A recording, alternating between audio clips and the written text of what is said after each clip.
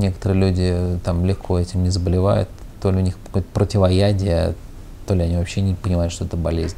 Ну, так же, как вот, не знаю, там, ты пообщался, вот я все время думаю, вот я лечу самолетом, и весь самолет там кашляет, чихает, сморкается, и с тобой ничего. А, или ты просто прошел где-то там по улице, и на следующий день там все, лежишь там в лёжку, а, заболел. Поэтому я думаю, что также со звездной болезнью, то есть человек может там вроде как там пройти через этот шлейф от звездной болезни и не заболеть. А может там чуть-чуть до него дотронуть, ну, не знаю, там, у меня есть автограф Аллы Пугачевой, я с тобой больше не разговариваю, у тебя нет автографа Аллы Пугачевой. И все, у человека крыша поехала. Ну, поэтому кто-то болеет, а у кого-то иммунитет.